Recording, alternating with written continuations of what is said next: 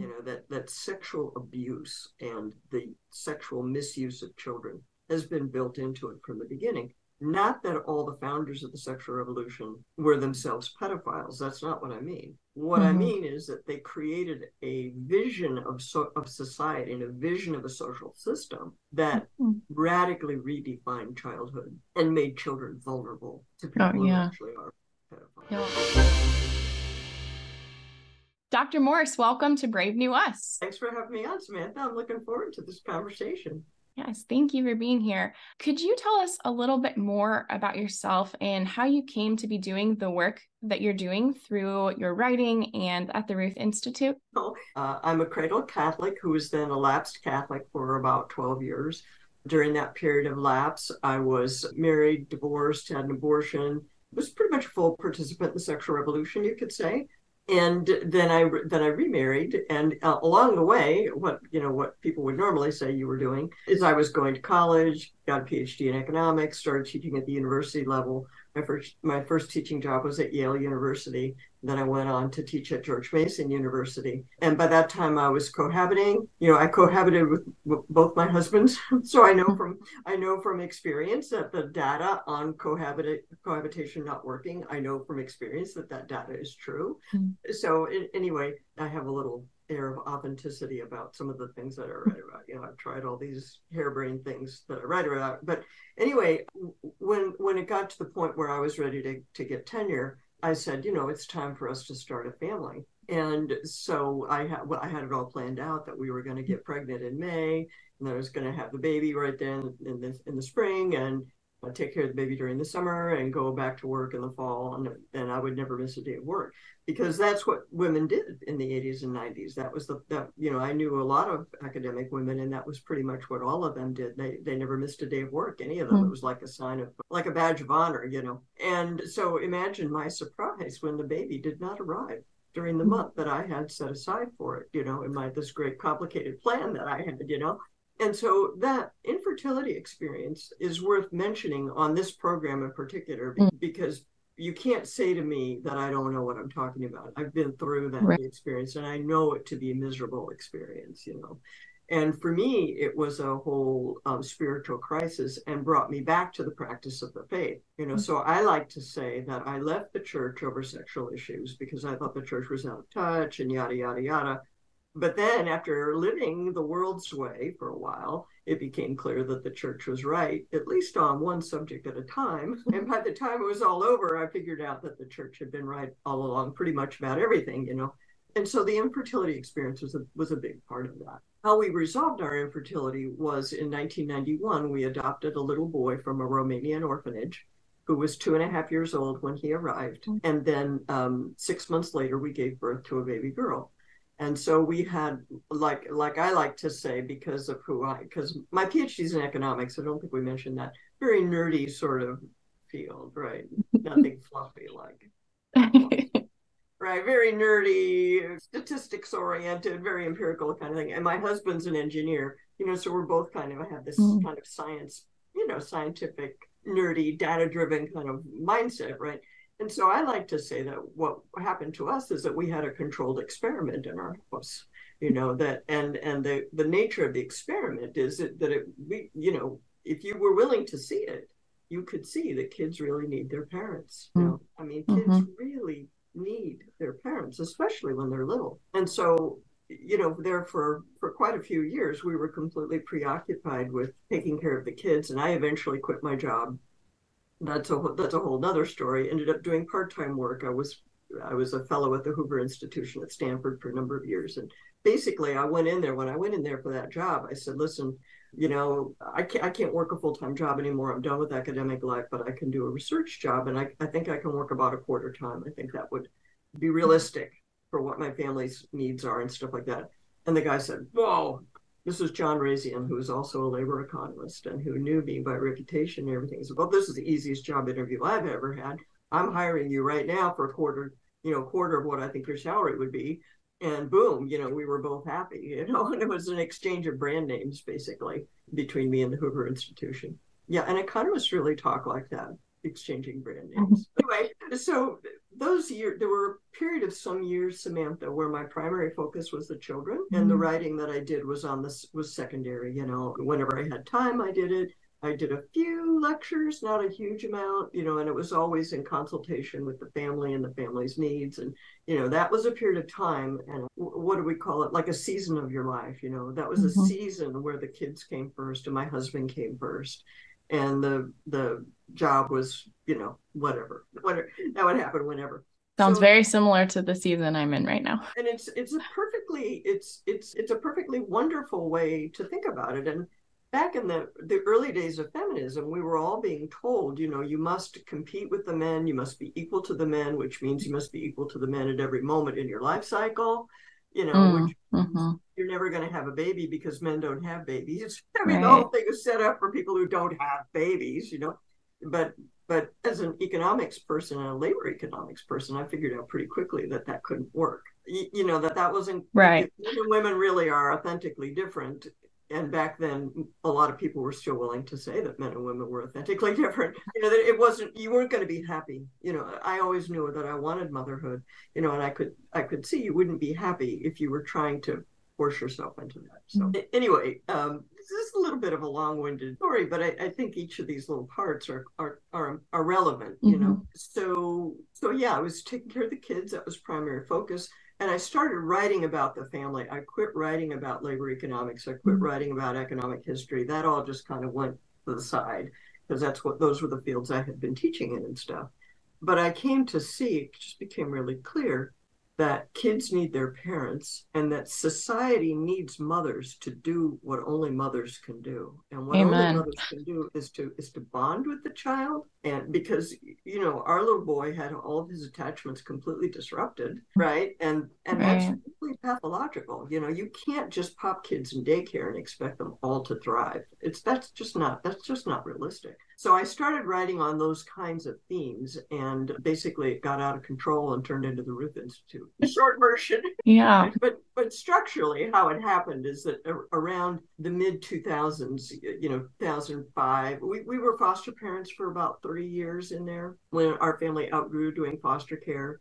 Then our kids were teenagers and you know starting to go off to college and that kind of thing. Like, okay, I could be doing something more, you know, a mm-hmm. little bit more structured and stuff but I decided to to start an institute that I could direct so that I could control what I got to talk about and how much I got to work and you know all of those kinds of things. So that was the beginning of the Ruth Institute on my dining room table in San Diego mm-hmm. in 2000. Beautiful. Thank you for for sharing your story and your journey with us. Really appreciate that and I think we're going to draw on, you know, learn about how some of those things built into your really your expose of what you call the sexual state as we move forward here. So um, when when you adopted did you anticipate you know some of the trauma and the wounds or were you surprised or maybe a little bit of both by the depth at which your son needed needed that attachment and that bonding having not had it in his earlier years Oh, we we were in no way per Samantha. I can really? And this was right January of 1991 is when we did this. So if you think about what was going on then, we were among the first people to adopt from Eastern Europe mm-hmm. after Eastern Europe opened up after the fall of communism and stuff. Right. So there were quite a number of professional class couples, you know, sort of middle aged couples mm-hmm. who had postponed childbearing and stuff. There are quite a number of us in the Washington, D.C. area who were similarly situated, adopted Eastern European kids. And, the, and when the kids arrived, they all had the same set of problems. And none of us were ready for it. I mean, I can honestly tell you that none of us were really ready for it. And so we kind of banded together. And then you're looking around and going, oh my gosh, they're dealing with all the same mm. the same thing. There's something structural here. It's not that my kid is freak. This is this right. is what this must be the norm of what happens, you know, when a child is left alone in the way that these kids were left alone. And so there were there were some people who did some some serious study of it. You know, there were a number of professional professionals in child development stuff who went over and looked at what was going on and so on. And they actually came up with a new diagnosis, Samantha. They called it institutional autism. Wow. Yeah, because they saw so many kids who were, you know, who were like you know, just had these this kind of isolation behavior and head mm-hmm. banging mm-hmm. and all this type of stuff, and they and they hypothesized that those kids were you know, they had these autistic symptoms, but they weren't born autistic. Right. You, you know that that the neglect, the negligence, and there's a there's a there's a reason for that that I wrote about in one of my books that that that they're part of the brain is developed by being in relationship with your mother. You know that you don't realize it, and this is this is an amazing, miraculous kind of thing that we don't realize. Things we do naturally, we rock the baby, we hold the baby, we look at the baby while mm-hmm. we're nursing, we're looking in the eyes and so on. In that, in those things that we do naturally as moms, we're helping the baby's brain to develop and it's the part of the brain that governs your ability to be in relationship it's mm-hmm. the limbic brain it's it's not it's not the frontal cortex that you know balances checkbooks and plays chess and stuff it's the part of the brain that can that can look at a face and recognize whether the person's comfortable or not or you know those type of social things that we that we do know how to do and that some people are impaired that's what develops when you're when when we're here like this you know that's mm-hmm. what we're you know, just rocking that baby. That's that's what we're helping them learn, helping them be. We're helping them develop that. So it's not even that you're teaching them. You're not teaching them to be attached. You're not teaching them to have a conscience. You're you're cultivating the very mm-hmm. I don't know what you'd call it, the hardware, you know, the, the the ability to do that. And if you have a lot of people who don't have a conscience or who can't be mm-hmm. social, you're going to have a problem in society. So my my social science training, you know, kind of my antenna kind of went up on this, like, oh my gosh, you know, we've got all these kids who will do anything they can get away with. You're not going to be able to sustain any kind of society like that because right. we're all counting on people to control themselves. Right. Well, I've been wondering about that in in sort of maybe a diluted, broader way, but how much of the way that we mother and and are doing this a little bit less, or at least the eye contact and things less when we're more distracted in society and paying attention to screens. I have to think that that that maybe has a little bit of an effect on the way that we relate to each other. But it kind of goes into the questions that we want to talk about in this the, loneliness of our society. If we want to start the year in your book the sexual state you open by discussing the misery of modern life. And you begin with the words of mother teresa. There are many in the world who are dying for a piece of bread but there are many more dying for a little love. It really says something that the woman who ministered to the dying in Calcutta would look at us and feel pity for the poverty that we find ourselves in. Can you explain how you see this misery or this dying playing out in our society? I gather now that there's a whole field called loneliness studies. You know, if you can imagine such a thing, you know, people studying the pro, you know, the problem of loneliness, and I can't say I know a whole lot about that but it, but it is a sign of the times. You know that by by breaking down the family, we're breaking down the most primal bonds between people the, the bond between the mother and the child the bond between the mother and the father you know the bond between brothers and sisters. Well people don't even have brothers and sisters you know. The, the the things that we've been doing in the name of freedom or fun and freedom you know that's the sexual revolution promises as fun and freedom hasn't panned out. You know it really hasn't panned out. And it's left people alone. It's left people isolated left people angry. It's left people cynical unwilling, um, unable to trust, you know. And and when you really think about those primal bonds that take place in infancy and and how little regard we have for that now, it's not surprising that we have a lot of kids that are coming unglued. You know? And you go on to argue that the state needs the sexual revolution and vice versa. Can you explain the relationship between the state and the sexual revolution and how they rely on each other? This is the thing. You know, when I started the Ruth Institute, I thought I was going to be to young mothers, uh, young young women, about why it would be okay for them to start their families in their 20s and that they didn't have to wait till they had tenure or made partner in the law firm. That's what I thought I was going to be talking about. But something happened on the way to that, and that something was Proposition 8, which mm-hmm. was the, the ballot initiative in California defining marriage as the union of a man and a woman. And I got involved in that campaign, and the Ruth Institute got involved in it, which was not what I intended, but it was taking place like right on my doorstep, and I didn't feel that I could sit it out because I could see that it was going to be damaging to children, and it was going to end up having you know whole cascade of consequences, you know, of the kind that nobody had been thinking about. I finally figured out what was going on, you know. And, and what I think is going on is that people wanted to redefine marriage because in their minds they had already redefined marriage. Mm-hmm. And so I came up with the, the things that are in the book, The Sexual State. There's a sort of a three part description of what I mean when I say the, the sexual revolution. You know, this is what I mean. I mean three things. Number one, that a good society should do everything possible to separate sex and babies. Okay, so you mm should be able to have all the sex you want without ever having to worry about having a baby. Sex is normally and normatively a sterile activity. That's what we're all socialized to believe is true. And that that's a good society. And if you have to worry about having babies all the time, that's somehow defective.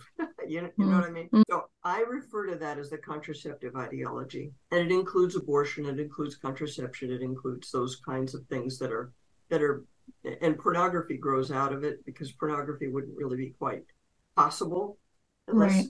Unless you had this idea that it was always sterile. So that that's one part is the contraceptive ideology. second part of the sexual revolution is that a good society should separate both sex and babies from marriage so that there's no necessary connection between marriage, sex, and babies. Mm. Okay. And I refer to that as the divorce ideology because what it's saying basically is that you can switch your sex partners as often as you want and nothing particularly consequential or bad is going to happen. The kids will be fine. The kids are resilient. See, that's the divorce ideology. And then the third part is is what I call the gender ideology. A lot of people call it the gender ideology. It's the idea that the the sex the sexual nature the gendered nature of the body the male the sex of the body is not particularly substantial and we can overwrite it if we want to. And, and in fact we probably should overwrite it if we want something important like equality or personal autonomy or something like that. So the early phases of feminism had elements of that because they were telling us that we should live the way men live. That was the key to happiness now it's advanced even further to say that you know your body is so insubstantial you can just erase your body and come up with a new body basically. You mm-hmm. know the, the sex nature of the body is not is nothing important you know? And so if you take those three things together you've really already radically redefined what marriage is you know? So now it does it, it's perfectly okay to say two men can marry each other because you know you've already eliminated all the things that where where male and female actually substantially matter to something you know? So so the, the reason the state is so involved in that is because the, the ideology of the sexual revolution is utterly irrational and completely mm-hmm. impossible.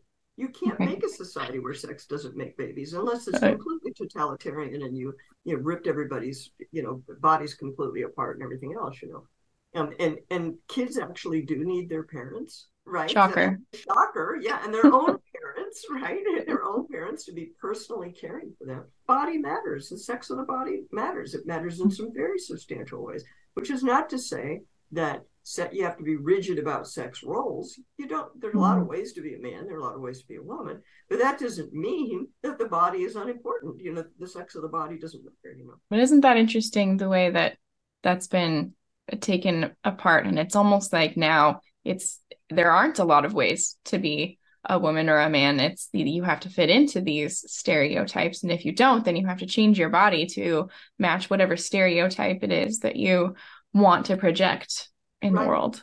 Which is another way of saying that the the body itself isn't what matters you know mm. it's very confusing you know. And and that one's a hard one to figure out because the same people who say that the sex of the body is insubstantial are saying that it's you know that that that that to be gay is an immutable trait. You can never change your sexual orientation, mm-hmm. but you can change the sex of your body.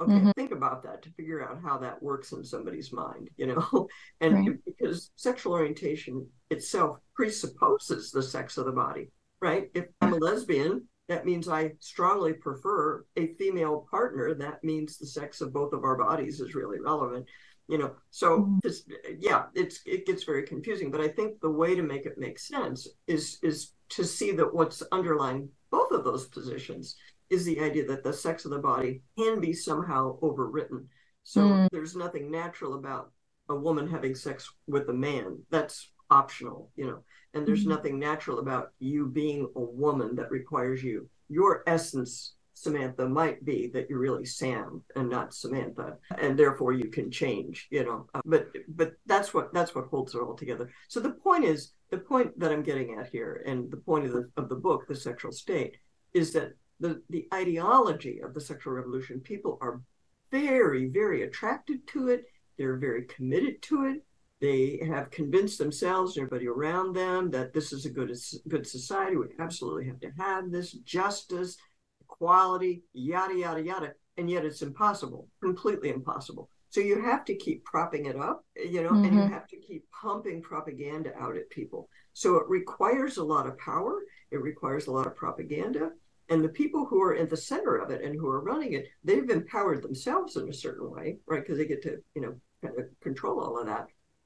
Mm-hmm. But but it's not really sustainable.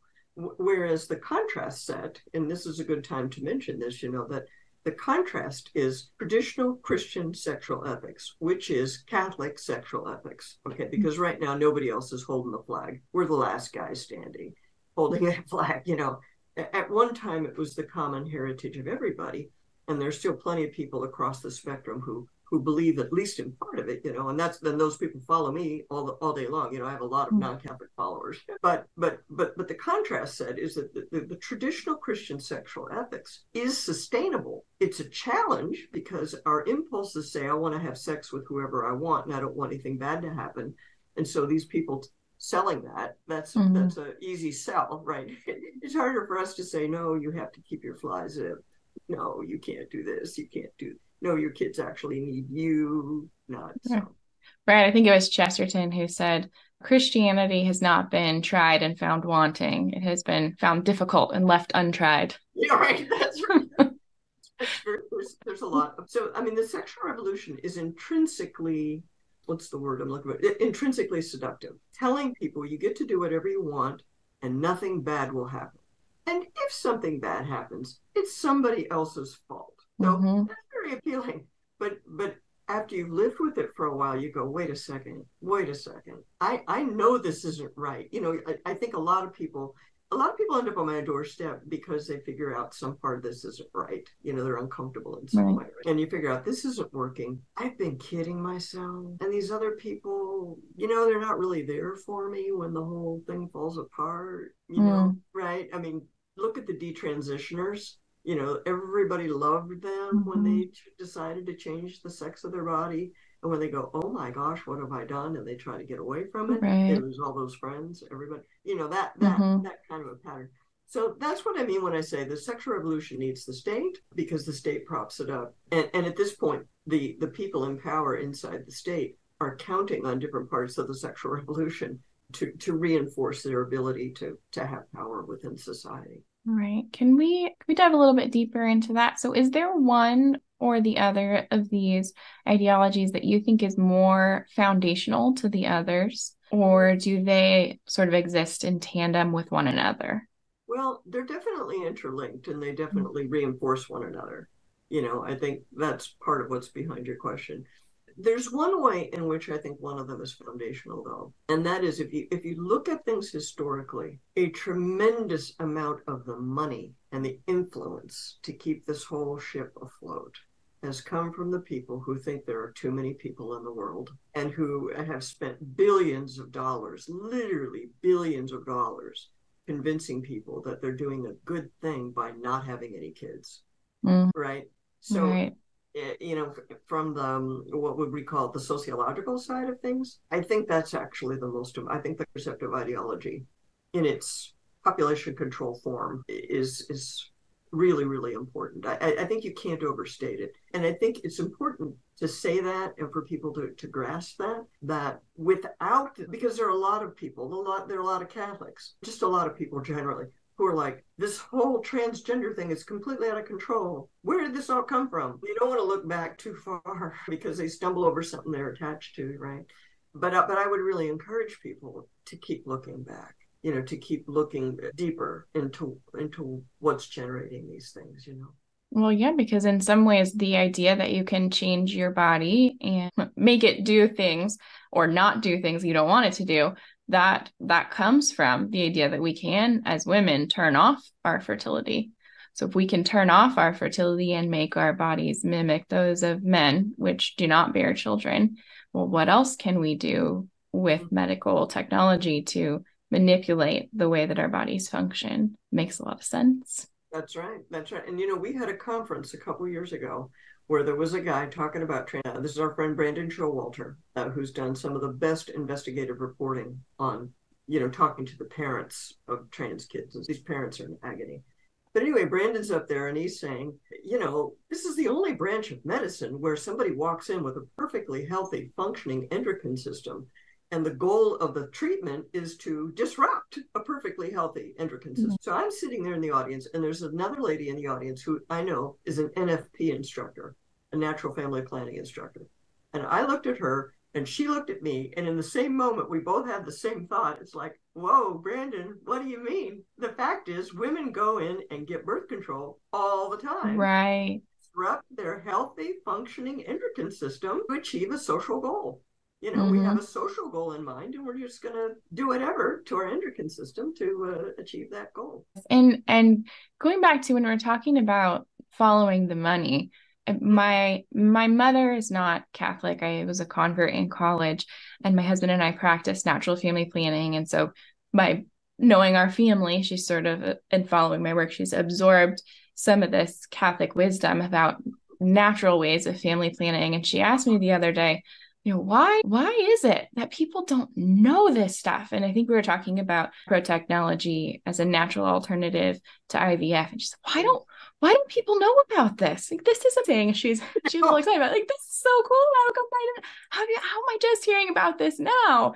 And and it's very interesting that you're identifying the money that comes from these pharmaceutical companies. And now i'm thinking big fertility. It's i mean it's so interesting to think about that as being the source of of yeah. these things. Yeah I, I don't think i let's put it this way. If you are unwilling to think about that you're not going to see the whole picture mm-hmm. you know it's not it may not be the whole picture but it's a big picture it's a big part of the picture for sure that people you know nobody when when when mom and dad get married and stay married nobody makes any special money off of that you know when mom and dad get divorced and uh, all the assets of the family have to be split up oh my gosh, there are there are vultures hovering around the family making all kinds of money. You know, if, if mom and dad are committed to to creating it creating and planning their family using natural methods, mm, there nobody makes very much money mm-hmm. off of mm-hmm. that. You know, mm-hmm. you you have a you have an instructor who who helps you learn about it, but that's nothing like that. Doesn't compare with the money that the medical clinics make and the and the you know the the gamete donors, the sperm and the egg donors, where it's it's actually yeah yeah or or not to mention the hundreds of thousands of dollars when a teen goes on so-called puberty blockers that are not approved for blocking puberty. I know it's horrible. It's that's beyond belief.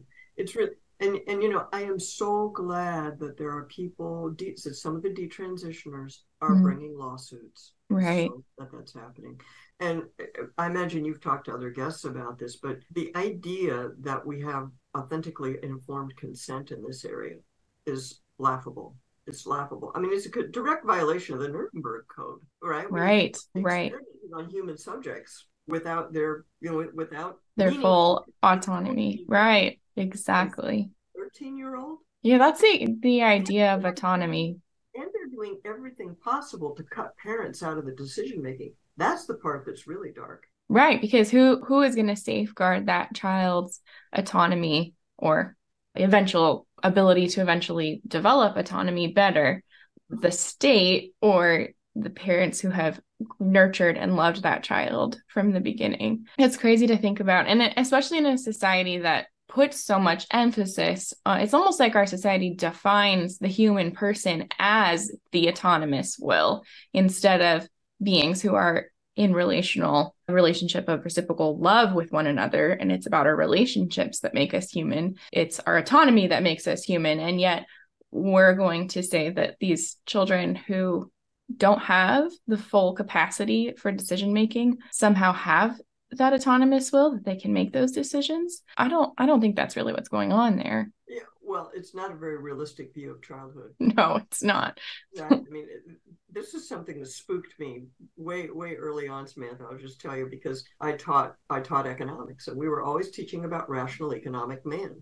You know, and and our whole, you know, the whole, what do you call it? The, the whole paradigm, you know, was about people making independent, autonomous decisions and we never really asked the question well where do these autonomous decision makers come from right how do you get from being a helpless baby to being an autonomous decision maker who makes promises keeps promises has a checking account knows how to vote all that stuff where does that even come from you know that that's what my my observations of the of the badly neglected orphans that's what spooked me you know when i looked at these kids and and and how damaged they were how harmed they were by that radical autonomy. Right. You know, I mean, they are autonomous, all right. You know, they're left alone in a crib as, as infants, you know. Mm-hmm.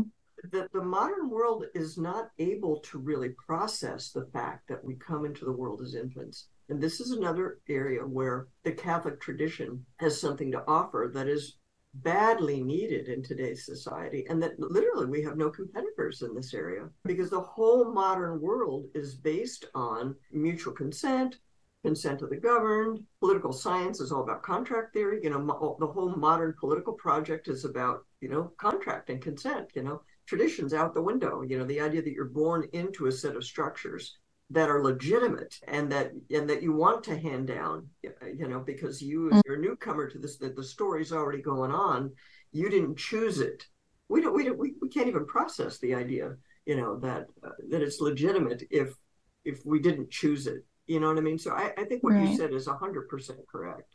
That we've we've we've created an idol out of autonomy.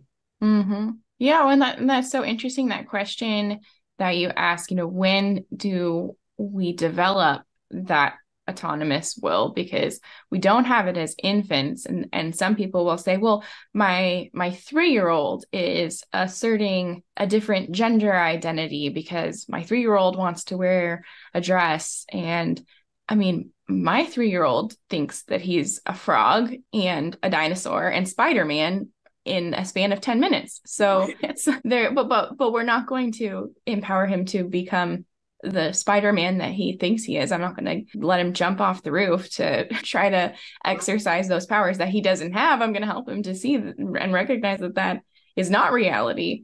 That's just your desire to do that. Let's emphasize this. Come in right on this point. Your desire as his mommy to do that for him is not you oppressing him. That's you acting in love in an appropriate manner towards somebody who's legitimately dependent on you. Okay. Okay. Well, can someone tell him that because it makes him really angry? Well, he's only three for a year, honey. He'll get over it. get over it. Let's hope so. Then you'll have another kid who's three or two or something, and start all over again. They do outgrow that stuff, you know. But but but the point is, the point is that your authority over him is legitimate, even though he didn't choose it. Mm-hmm. And that's what we have trouble with. I, I, think you know, and there are a couple of guys who are really good on this. My my friend Scott Yenor, you should you should get acquainted with him. He wrote this book called mm-hmm. Family and Politics. He's a poli sci guy, so he knows all of the the modern political philosophers. You mm-hmm. know, of Locke and Kant, and you know all these people. And his and and in his work, he goes through and analyzes what these people have to say about the family.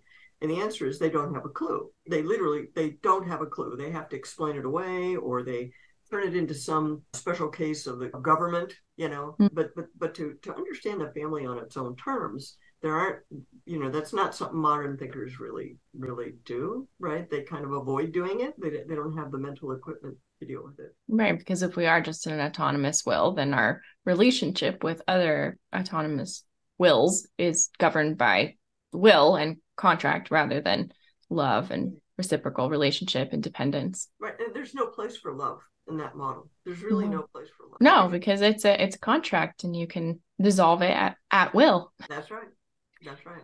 So you I think you really diagnosed these problems underlying really well. But what's the alternative? What does a healthy society look like? And do you think that we have a chance of getting there? Well, we, there's always a chance, but you have to know what you're aiming for.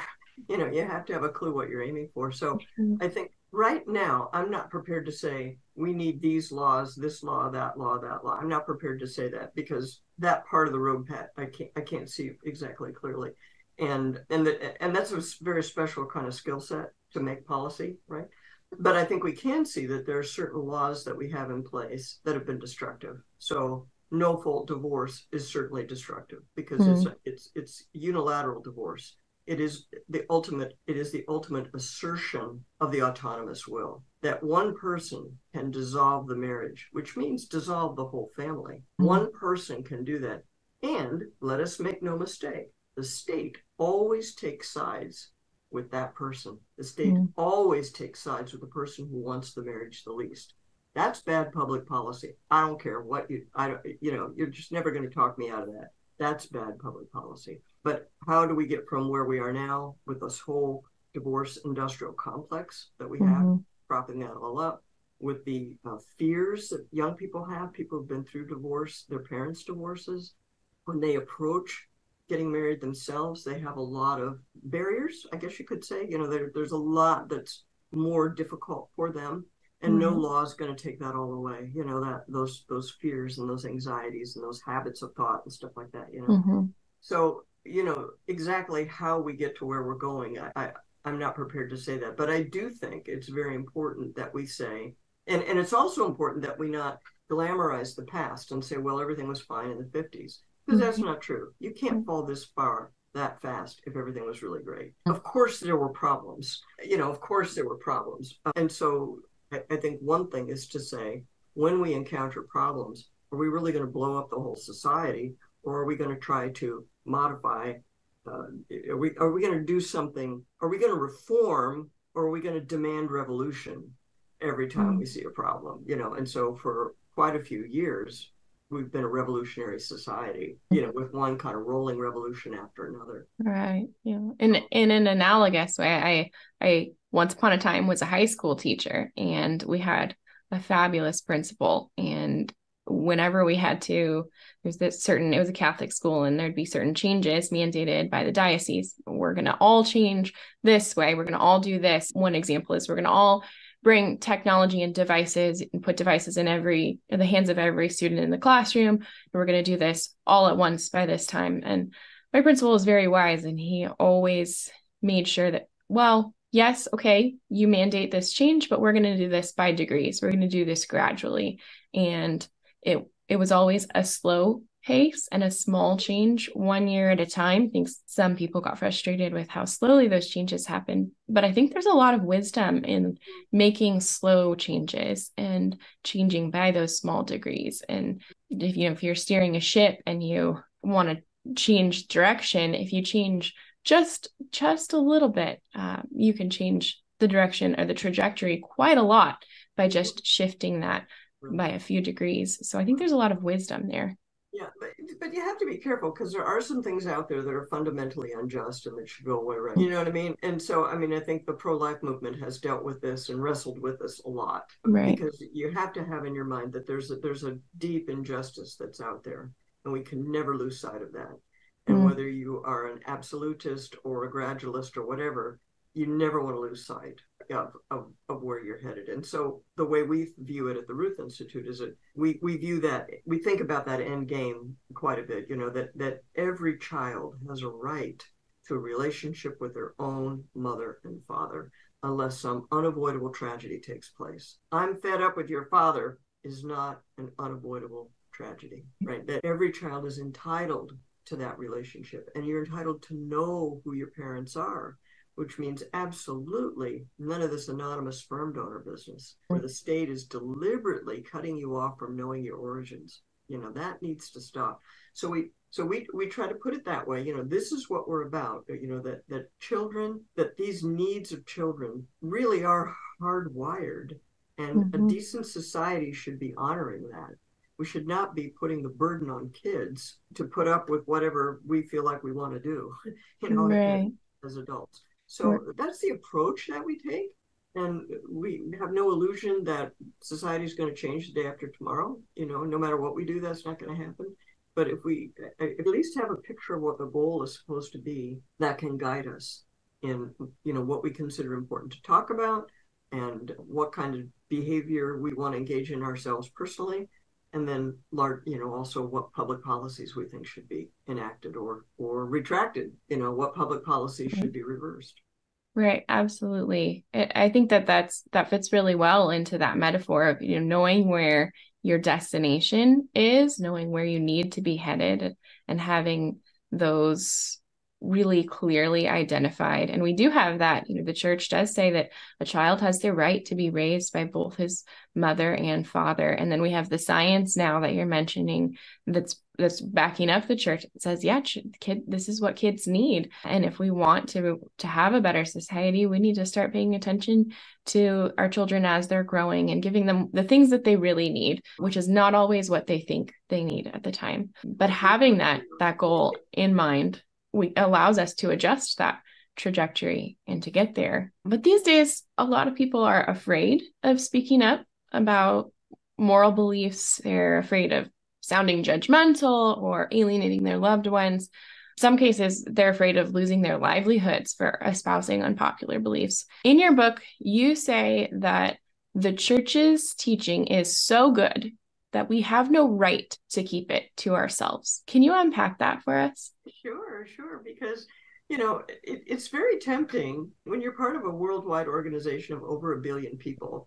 You can spend your whole life and never talk to anyone outside the church. You know, you can focus all of your energy on, you know, on things that are inside the church. But the fact mm. is that there are millions of people who are dying to hear what we have to say. It's a little bit like what your mom said mm-hmm. about why am I only now hearing this? Why didn't I hear this years before? You know, that's that's really how I feel about it. You know that that I learned a lot of things the hard way. I did a lot of stupid stuff. I paid a price for it. My husband and I paid a price for it. And the stupid stuff the kids are being induced to do today is much worse. Mm-hmm. You know, I mean, it's the, the the mistakes kids are are being you know sort of lured towards are much more catastrophic and, and more difficult to recover from right mm-hmm. so yeah i feel like we need to to be as as truthful as we can we, and we need to you know put ourselves in a position where it's safe to speak right so we don't live in california anymore we moved out of california we mm-hmm. lived we live in louisiana now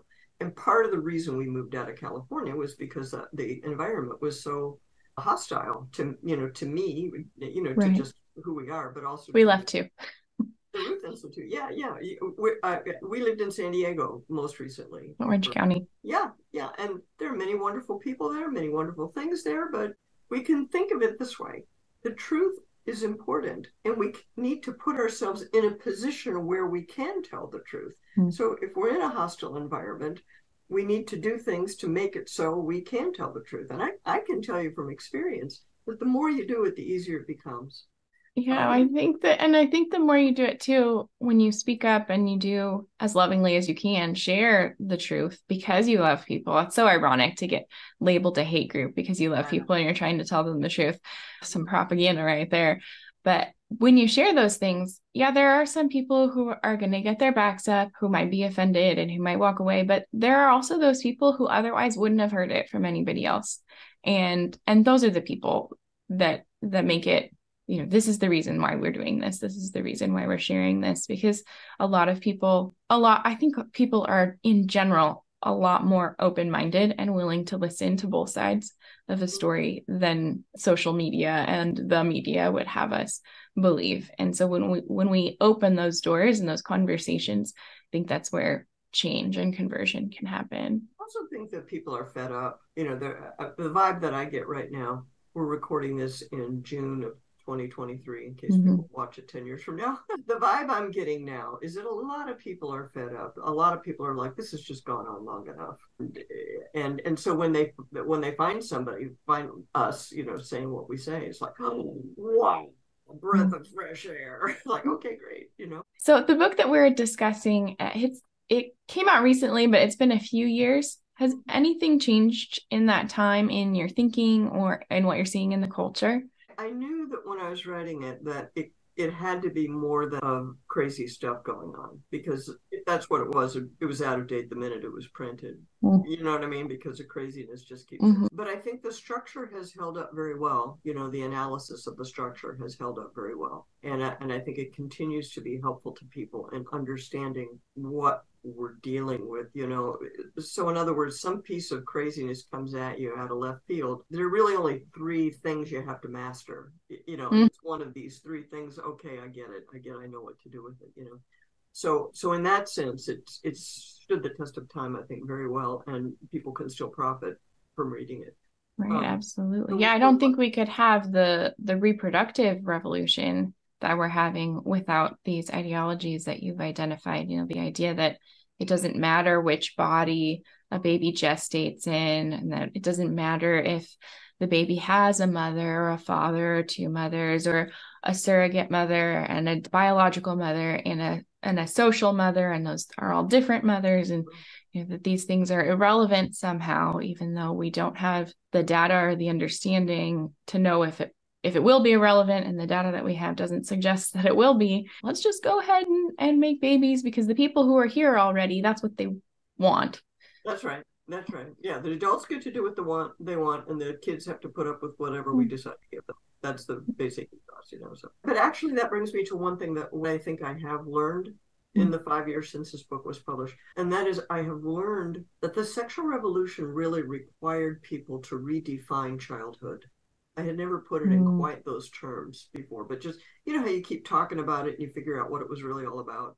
Yeah, because you have a you have a book yourself, right? Yes, yeah, I do. Yeah, mm-hmm. We talked about your book on my show, and in my experience has always been Samantha. After I write a book, and I think I know what I'm talking about. Well, I talk about the book for five years, and then and only then do I figure out what the book was really all about in the first place. But but but no, I think I think in in order to believe that the body doesn't matter in the ways that you've just mentioned and that kids don't really need their parents and all that. We get to do whatever we want sexually. Nothing bad's going to happen to anyone. In order to for that to even be remotely plausible, people had to redefine what it means to be a child. And mm-hmm. so we redefined childhood so that children are autonomous beings, right? And they can make decisions. They don't really need their parents for protection. They need their parents to get out of the way so that they can be their true selves and stop abusing them by putting mm-hmm. limits on them. You know, we redefine childhood. And in doing that, we have set the stage for pedophilia. Um, right. Um, and I, and I've been saying I I, I have a version of a, a, talk I came up with a couple of years ago. This came into my mind, you know, that pedophilia is baked into the sexual revolution. Mm-hmm. You know that that sexual abuse and the sexual misuse of children has been built into it from the beginning. Not that all the founders of the sexual revolution were themselves pedophiles. That's not what I mean. What mm-hmm. I mean is that they created a vision of so, of society and a vision of a social system that mm-hmm. radically redefined childhood and made children vulnerable to people oh, yeah. who actually are. No, absolutely right. I mean, even even if you look at way back in the 30s, Huxley wrote Brave New World, which is the inspiration for the name of this podcast, Brave New Us. It's happening right now. That was one of the conditions of this dystopia that he envisioned is that children would be these sexual beings and they would engage in all kinds of sexual free play and not have any parents and it's it's kind of eerie some of the predictions that he made. And i think you mentioned earlier when prop 8 came out i think opponents were were saying that. They were arguing you know if you if you change things in this way if you redefine marriage in this way then what you are doing is allowing the conditions for something like pedophilia you know any you're legitimizing any sort of sexual use of the body and this will happen. And people said no no no no that's a slippery slope. That will never happen. And lo and behold that is what some social scientists are proposing now to call pedophilia just a, a different orientation rather than something that needs to be denounced and that children need to be protected from. 8, I, I can honestly say, because I was there through that, you know, a lot of those discussions, it is shocking to me looking back on it how shallow the arguments really were right? You know that the defense of the redefinition of marriage that the, it was always you're only allowed to talk about one thing and that is how will this affect gay people? Is this mm-hmm. going to hurt gay people? Is going to make people gay you know is this fair to gay people? Is this good for gay people? That is the only thing you're allowed to talk about. And if you broaden the discussion and say, well, if you make this change over here, you're going to have ripple effects over there, there, and there. You know, nobody. I can tell you honestly, nobody wanted to talk about that. You know, the the way it would redefine parenthood. So if you redefine marriage, you're going to end up redefining parenthood. I tried. I tried to get people interested in that, and and I'll tell you, Samantha, it wasn't just the people in favor of marriage redefinition. It was also some of the people on our side who didn't really want to go there because they knew that I was implicating divorce. Right. Was, you know, and so, you know, if you're big donors on his third marriage, oh, you don't want to talk about that. Right. you know, um, right. That follow the money thing goes on both sides. It goes on all sides. Very true. So here we are mm-hmm. holding the flag.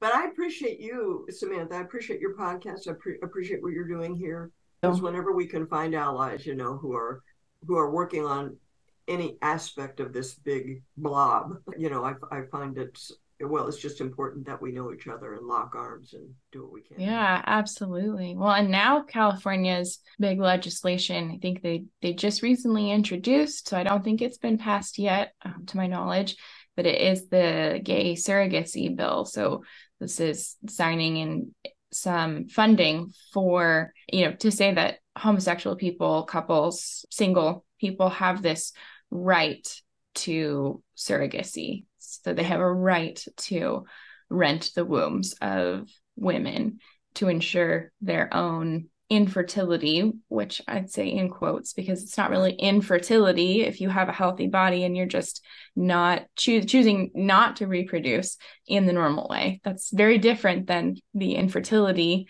that you, for example, have had to struggle with and and that cross that women have had to bear in couples. So it just, you know, keeps going and building. Right, right. And and that idea that you're entitled to a child, that mm. right there uh, everybody should denounce that. I mean, absolutely, absolutely, incorrect. No one is entitled to a child. When we talk about parental rights, what we mean is that you and your husband have are the sole legally and socially recognized parents of that child. That doesn't mean you had mm-hmm. a right to have a child in the first place, right? It means right, a gift. A child is a gift and the state recognizes that you are the sole have have the sole custodial rights and all the rights and responsibilities that come from parenthood. You mm-hmm. and only you you know have those have those entitlements.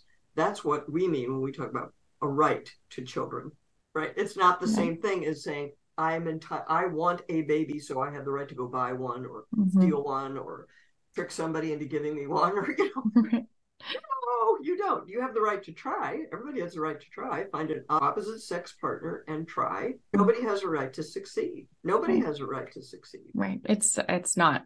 You can't have a right to something that's not necessarily a, a logical possibility. Yeah, and also, and also, it's a person. No one has a right to a person. No, no, we don't want to go there. No, well, we tried that with slavery. It didn't work out well. Mm-mm, mm-mm, doesn't end well, right? So, um, thank you so much for sharing your time and your wisdom with us today. Is there anything else that we haven't discussed already that you think that listeners should know? Well, since this is a bioethics podcast, a Catholic bioethics podcast, I would say hang in there, people, because the world needs you guys to get it mm-hmm. done and get it right you know and this is an area i'm completely self-taught in this area and i rely on people like y'all to you know to figure this stuff out and and give us the proper language proper terminology that has the right precision to it you know so that we don't say stupid stuff by accident well we're always going to say stupid stuff by i think that's part of the human condition The point of developing expertise is to avoid that. You know, you know what I'm saying. You know, yes. we, you know that your vocation, your calling, those of you who are called to study and develop Catholic bioethics, it's a very important calling, and a lot of people are counting on you to get it right. So no pressure, but uh, but you know we're we're more. I would say at the Ruth Institute, we, we're we're more the we we retail your stuff. You know, we're the purveyors of the truth that you guys have mm. figured out. You're the research. You're you're the R and D team over there. You know, and we do our best to to get it out to the public so that people realize that this is the life giving path, and the other mm. stuff we're making up is just yeah, for sure. We, we should be able to see that it's not going to work. It's wishful thinking. It's a lot of wishful thinking. Yeah, well, there's even all, all the new technologies and the research and everything that they're doing. It's it could be a little overwhelming just to see and it's but I, I think it's also ultimately exciting because there are a lot of areas where for example like reproductive technologies bring up yes they're new technologies but they bring up old questions. And like you said you know the catholic church has been dealing with these questions. It's timeless the the thought of 2000 years of this intellectual tradition. And the technologies might be new but the answers about who we are why we were made where we're going those things remain constant. So it, it is nice to be able to have these ways to have discussions about these things in ways that maybe people are a little bit more open to hearing the tradition of the church and the wisdom. Well thank you for your work samantha. Yeah thank you. It's great to talk to you today. I really appreciate you being here. Thank you so much.